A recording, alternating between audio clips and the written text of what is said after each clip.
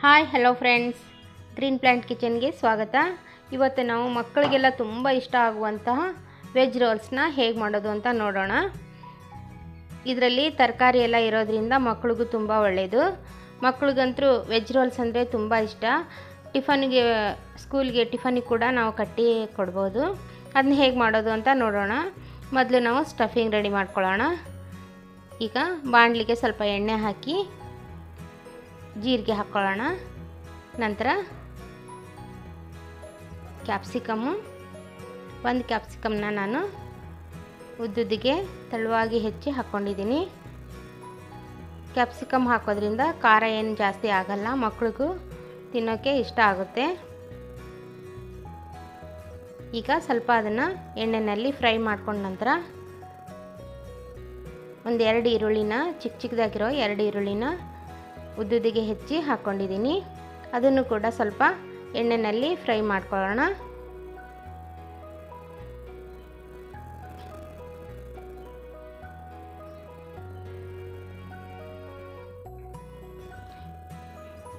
ಈಗ ಕ್ಯಾಬೇಜ್ ಅಂದರೆ ಎಲೆಕೋಸು ಎಲೆಕೋಸನ್ನು ಒಂದು ಸ್ವಲ್ಪ ಒಂದು ಎರಡು ಬೌಲಷ್ಟು ಆಗೋದು.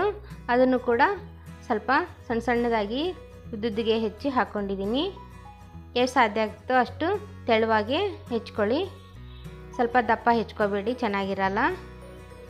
ಈಗ ಅದು ಕೂಡ ಸ್ವಲ್ಪ ಎಣ್ಣೆಯಲ್ಲಿ ಫ್ರೈ ಆಗಬೇಕು. ನಂತರ ಒಂದೆರಡು ಟೊಮೊಟೊನ ಚಿಕ್ಕ ಚಿಕ್ಕದಾಗಿ ಹೆಚ್ಚಿ ಹಾಕ್ಕೊಂಡಿದ್ದೀನಿ ಈಗ ಟೊಮೊಟೊ ಕೂಡ ಸ್ವಲ್ಪ ಎಣ್ಣೆಯಲ್ಲಿ ಫ್ರೈ ಆಗಬೇಕು.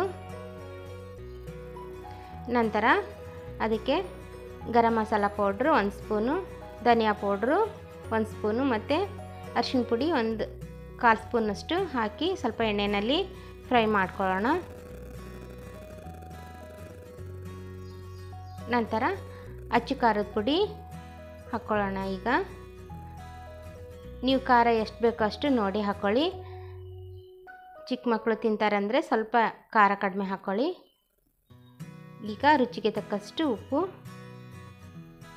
ವೆಜ್ ರೋಲ್ಸ್ ಅಂದರೆ ಯಾರಿಗೆಲ್ಲ ಇಷ್ಟ ಇಲ್ಲ ಮಕ್ಕಳಿಗಂತೂ ತುಂಬ ಇಷ್ಟ ಆಗುತ್ತೆ. ಒಂದು ಸರಿ ಟ್ರೈ ಮಾಡಿ, ತುಂಬ ಚೆನ್ನಾಗಿರುತ್ತೆ. ಕೊನೆಯದಾಗಿ ಒಂದು ಎರಡು ಸ್ಪೂನಷ್ಟು ವಿನೆಗರ್ ಹಾಕ್ಕೊಳ್ಳಿ ವಿನೆಗರ್ ಹಾಕೋದ್ರಿಂದ ತುಂಬ ಟೇಸ್ಟ್ ಚೆನ್ನಾಗಿರುತ್ತೆ. ಈಗ ಎಲ್ಲ ಫ್ರೈ ಆದ ನಂತರ ಕೊನೆಯದಾಗಿ ಒಂದು ಸ್ವಲ್ಪ ಕೊತ್ತಂಬರಿ ಸೊಪ್ಪು ಹಾಕಿ ಕೆಳಗಡೆ ಇಳಿಸ್ಕೊಂಬಿಡೋಣ ಈಗ ಸ್ಟಫಿಂಗ್ ರೆಡಿ ಆಯಿತು. ಈಗ ಚೆನ್ನಾಗಿ ಕೈ ಆಡಿಸ್ಕೊಂಬಿಡಿ. ನೋಡಿ ಎಷ್ಟು ಚೆನ್ನಾಗಾಗಿದೆ. ಬರೀ ಚಪಾತಿಗೂ ಕೂಡ ನಾವು ಈ ಥರ ಹಚ್ಕೊಂಡು ತಿನ್ಬೋದು. ಈಗ ಚಪಾತಿನೂ ನಾನು ಮುಂಚೆನೇ ಮಾಡಿಟ್ಕೊಂಡಿನಿ. ಇದಕ್ಕೆ ಗೋಧಿ ಹಿಟ್ಟಿಂದ ಚಪಾತಿ ಮಾಡಿದರೆ ಹೆಲ್ತ್ಗೂ ಒಳ್ಳೆಯದು ನೋಡಿ ಪದ್ರ ಚಪಾತಿ. ನಾನು ಪದ್ರ ಚಪಾತಿ ರೆಸಿಪಿನ ನಿಮ್ಮ ಜೊತೆ ಹಂಚ್ಕೊಂಡಿದ್ದೀನಿ. ಡಿಸ್ಕ್ರಿಪ್ಷನ್ ಬಾಕ್ಸಲ್ಲಿ ಚೆಕ್ ಮಾಡ್ಕೊಳ್ಳಿ.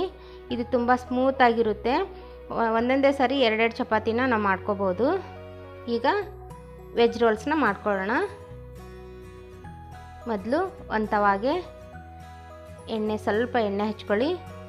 ಒಂದು ಪದರ ಚಪಾತಿನ ಹಾಕ್ಕೊಳ್ಳಿ ಅದರ ಮೇಲೆ ಸ್ವಲ್ಪ ಚೀಸ್ನ ತುರಿದ್ಬಿಟ್ಟು ಹಾಕ್ಕೊತಾ ಇದ್ದೀನಿ.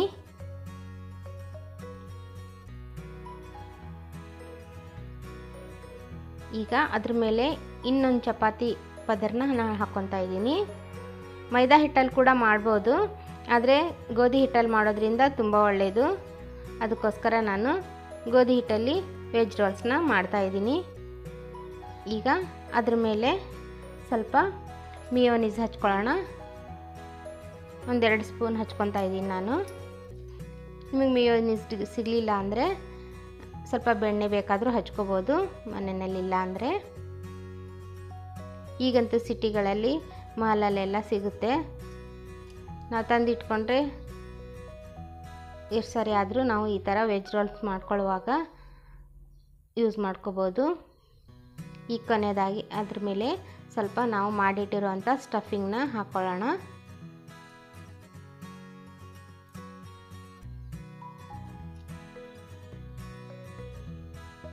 ಈಗ ಇನ್ನೊಂದು ಪದ್ರ ಚಪಾತಿಗೆ ನಾವು ಸೈಡಲ್ಲಿ ಅದಕ್ಕೆ ಶಿವಜನ್ ಸಾಸ್ ಹಚ್ಕೊಳ್ಳೋಣ.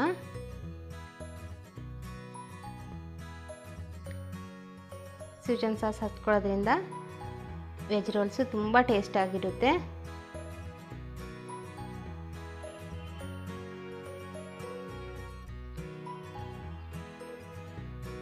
ಈಗ ಈ ಪದರನ್ನು ನಾವು ನಾವು ಅದ್ರ ಮೇಲೆ ಹಾಕ್ಕೊಂಬಿಡೋಣ. ಈಗ ನೋಡಿ ಎಷ್ಟು ಸುಲಭವಾಗಿ ನಾವು ಎಗ್ ವೆಜ್ ರೋಲ್ಸ್ನ ಮಾಡ್ಕೋಬೋದು. ಒಂದ್ಸರಿ ಟ್ರೈ ಮಾಡಿ. ಎಲ್ಲರಿಗೂ ಇಷ್ಟ ಆಗುವಂಥ ರೆಸಿಪಿ ಇದು. ನೀವಿನ್ನು ನಮ್ಮ ಚಾನಲ್ಗೆ ಸಬ್ಸ್ಕ್ರೈಬ್ ಆಗಿಲ್ಲ ಅಂದರೆ ಸಬ್ಸ್ಕ್ರೈಬ್ ಆಗಿ. ಈಗ ಇನ್ನೊಂದು ಸರಿ ಅದನ್ನ ಉಲ್ಟಾ ಮಾಡಿಕೊಂಡು ಅದ್ರ ಮೇಲೆ ಒಂಚೂರು ಎಣ್ಣೆ ಹಚ್ಕೊಂಡು ಈಗ ರೋಲ್ಸ್ ಮಾಡಿಕೊಂಡ್ರೆ ಆಯಿತು ನೋಡಿ.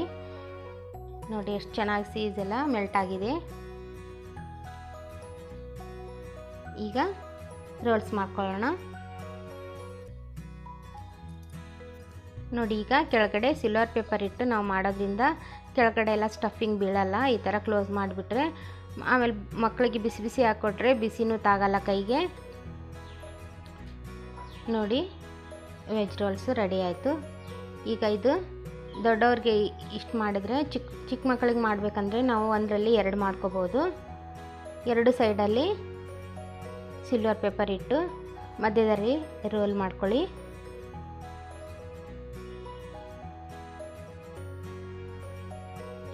ನಂತರ ಸಿಲ್ವರ್ ಪೇಪರ್ನ ಕ್ಲೋಸ್ ಮಾಡ್ಕೊಳ್ಳೋಣ.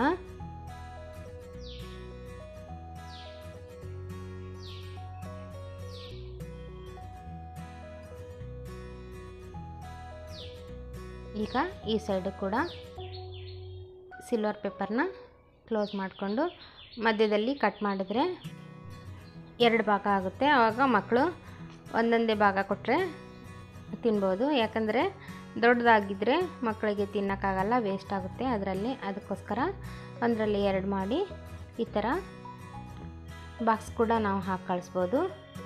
ಈಗ ನೋಡಿ ವೆಜ್ ರೋಲ್ಸು ರೆಡಿ ಆಯಿತು. ಎಲ್ಲರೂ ಇಷ್ಟಪಡುವಂಥ ವೆಜ್ ರೋಲ್ಸು.